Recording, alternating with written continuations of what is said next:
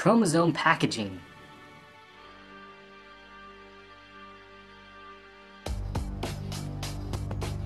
DNA has an approximate height of 2 nanometers. You might notice that it is in the shape of a double helix.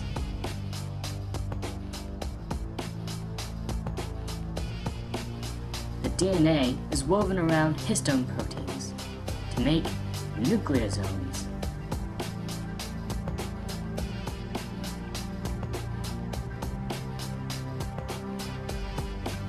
The nucleosomes are then packed together in a spiral fashion to form chromatin fibers.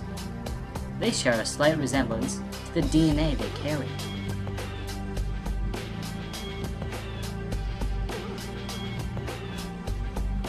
Chromatin fibers are relatively large compared to DNA, yet relatively small compared to the chromosome as a whole.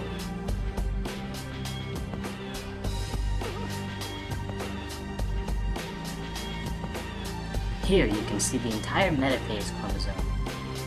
Notice its flexibility.